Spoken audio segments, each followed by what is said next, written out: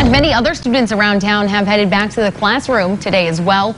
The Fairfax School District opened their doors this morning. Schools in the district, which has nearly 2,800 students, will operate on a modified schedule.